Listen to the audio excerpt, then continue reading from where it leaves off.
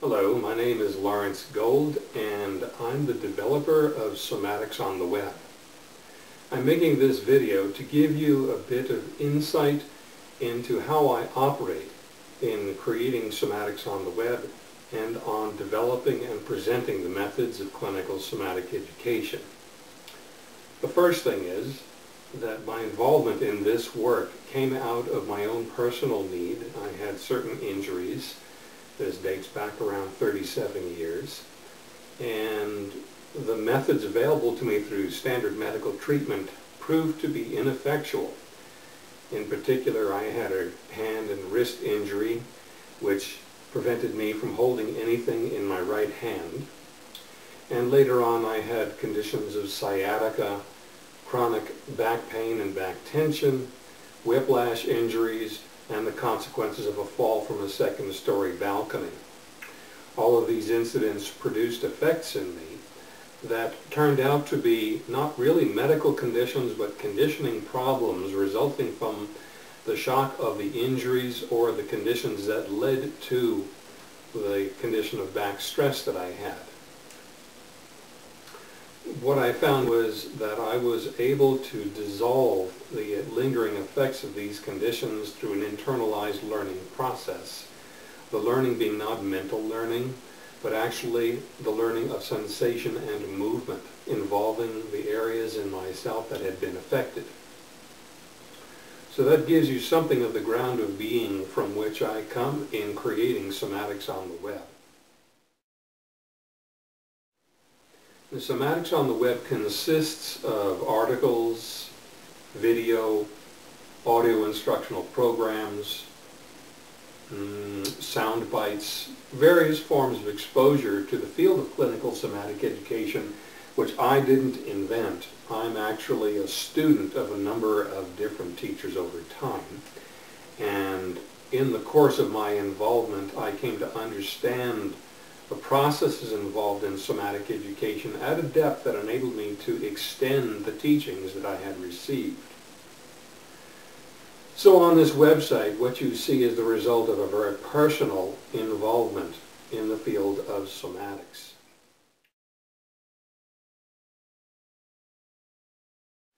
Now, somatics is an interesting word because it sounds like semantics and it sounds something like somnolescence. And so people commonly think when I say somatics, I mean something to do with either sleep or with language.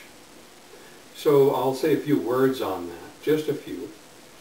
The first thing is, in a certain sense, somatics is about sleep, but not of the kind you do in bed with a pillow.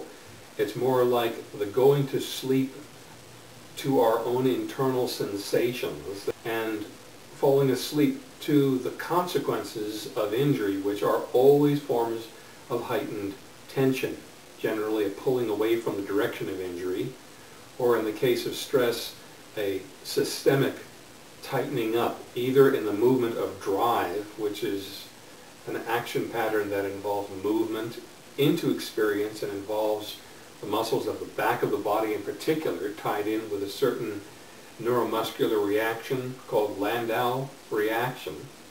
And it's this heightened tension that's uh, responsible for chronic back trouble, headaches, tight shoulders, tight hamstrings, sciatica, and other kinds of conditions.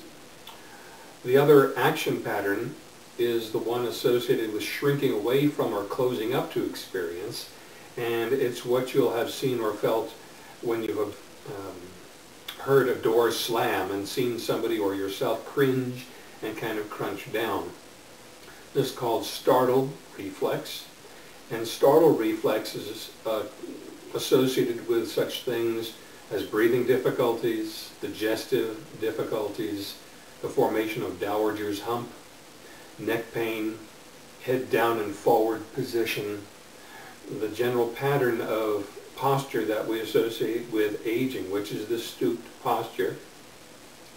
And there's a third reflex pattern, which is the action pattern that we go into reflexively when we pull away from injury, which is called trauma reflex. And whenever you've experienced an injury, you may have noticed the desire and urge to pull in the injured part to protect it. And this reflex pattern commonly becomes habituated, that is a quasi-permanent. And people go through life accumulating injuries and tension patterns and they get tighter and stiffer and more awkward and they think that has to do with aging and it doesn't. It has to do with the accumulated effects of those reflexes of injury and stress. Uh, a fourth origin of tension is that of nervous tension, which is primarily emotional in nature, and that shows up in various idiosyncratic ways. But the point of all of this is that we go to sleep to all of these reaction patterns. We don't really feel them after a certain point. They just become who we are, and we accumulate them. So in that sense, we have gone to sleep, and that's the sense in which you might say that somatics has to do with sleep. The other aspect, semantics, has to do with language. And in the case of most people, we learn a vocabulary of movements according to need, so that the activities in which we participate in life, whether it be something as simple as walking or riding a bicycle, or the more skilled movements of athletics perhaps, or performing a musical instrument, or of even wielding a knife in the kitchen, cutting vegetables efficiently. These are a vocabulary of movement that develop at need, and so we tend to accumulate what we need and no more. And as a consequence, we go through life repeating those same action patterns and we become more and more ingrained in them and we take the shape or posture involved in those action patterns. And that shows up as overuse injuries and things like carpal tunnel syndrome and foot pain and knee pain, shoulder pain. These are all the consequence of movement action patterns becoming habituated by repetitive action. We learn those movements and then our brain learns them so well that we don't need to do them voluntarily any longer. They happen automatically and then we become trapped in them. And we get stuck in that limited vocabulary of movement. And what relevance does somatics have to that? Well, somatics is about developing what in education they call the well-rounded individual. We have good coordination and good integration of movement generally in all directions, front, back, side to side, twisting and expansion and contraction, as in breathing. So somatics increases our vocabulary of movements.